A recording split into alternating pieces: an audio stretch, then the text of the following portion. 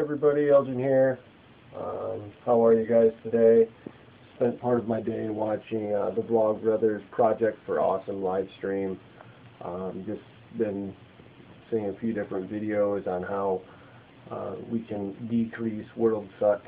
Um, and it's just one of those things, uh, especially this time of year. People uh, like to uh, give a little here or get a little there.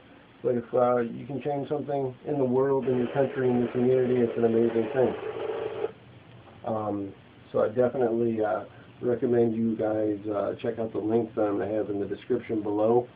Um, some awesome organizations that I'm going to put in there um, happen to give 100% of everything they give uh, into the charity. Into the charity. Uh, none of it uh, goes for administrative fees or anything like that. Uh, if you guys have any local uh, organizations you would like to donate to, it's just something to think about, especially during this time of year. Um, just want to thank you guys for watching. I know the last few videos have been kind of short, um, but uh, hopefully and ultimately they're always going to get better. So you guys be amazing. Make sure you check out the Vlogbrothers. Uh, they just do so many amazing things in order to try and make the world better.